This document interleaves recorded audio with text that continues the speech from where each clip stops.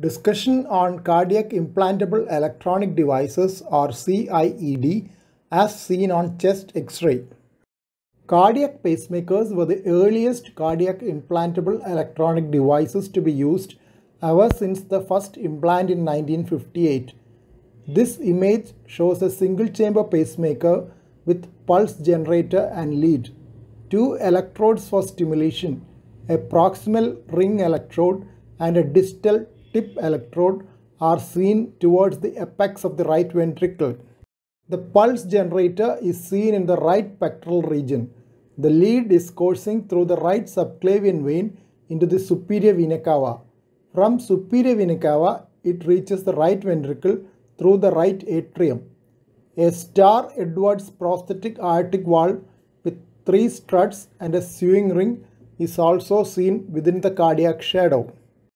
Chest X-ray showing a single chamber pacemaker with a screw-in lead kept on the septal aspect of the right ventricle. Septal pacing on the right ventricular outflow region may give a narrower QRS complex with better left ventricular synchrony. A narrower QRS reduces the long-term chance of left ventricular dysfunction, which is a downside of right ventricular apical pacing. It may be noted that lead tip is located higher than in the previous case. This image shows a dual chamber pacemaker with a right atrial lead and a right ventricular lead. In this case, the pacemaker pulse generator was implanted in the left pectoral region. The leads traverse the left subclavian vein and left brachiocephalic vein to reach the superior vena cava. The atrial lead is a J-shaped lead and tip is usually located in the right atrial appendage. The right ventricular lead was placed at the right ventricular apex. Chest X-ray showing implantable cardioverter defibrillator with two high voltage electrode coils and two pacing electrodes. ICD is an implantable device which can treat both brady and tachyarrhythmias. If it detects significant bradycardia, it gives backup pacing signals. If a ventricular tachycardia is detected, it tries initially to suppress it by overdrive pacing. If it does not succeed, a direct current internal shock is delivered across the high voltage coils to terminate the arrhythmia. If a very fast ventricular tachycardia which is life threatening or a ventricular fibrillation is detected, the device straightaway gives a direct current shock to terminate the arrhythmia. One high voltage coil is in the superior vena cava while another one is seen in the right ventricle. Two pacing electrodes are seen beyond the high voltage coil in the right ventricle. This is a single chamber ICD.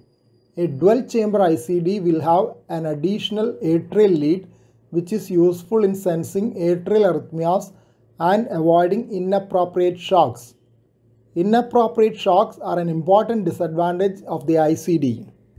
Cardiac resynchronization therapy is an advanced form of three-chamber pacing which is used to synchronize left ventricular contraction in heart failure. Hence, they are also known as heart failure devices.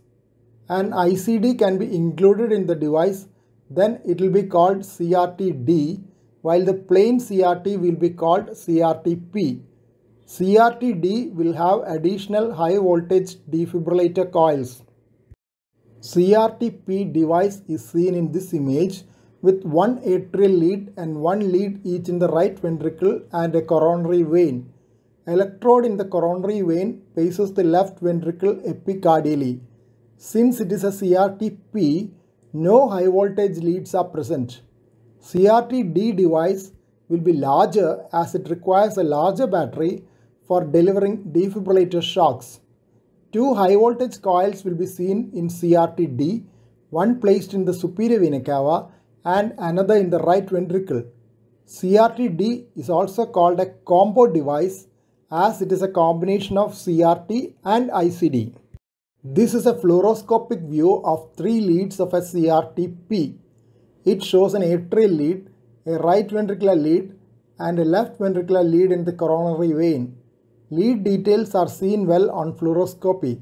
Screw-in coil at the tip of the right ventricular electrode is quite evident. Part of the CRT device is seen in the left upper corner of the image along with redundant lead coils.